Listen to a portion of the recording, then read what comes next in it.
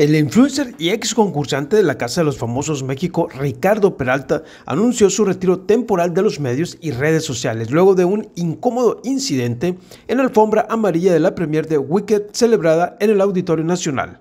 Peralta, conocido como Torpecillo en redes, fue abucheado por el público, lo que desencadenó una crisis de ansiedad que él mismo compartió a través de su cuenta de Instagram. En la madrugada del martes, el influencer publicó un mensaje en el que se expresaba su angustia y revelaba que la experiencia lo había dejado profundamente afectado y señaló que el apoyo de sus amigos y familiares ha sido fundamental para sobrellevar el difícil momento.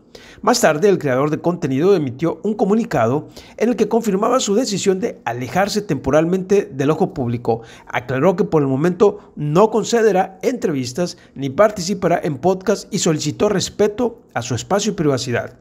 La reacción del público podría estar relacionada con comentarios pasados de Peralta sobre figuras del espectáculo como Dana Paola y Ariana Grande, quienes participan en Wicked. Algunos usuarios de redes recordaron críticas del influencer hacia Dana y comentarios sobre el estilo de Ariana Grande, lo que, según internautas, habría provocado el rechazo que enfrentó en el evento. Peralta agradeció el apoyo de sus seguidores y reiteró la importancia de frenar el bullying en redes.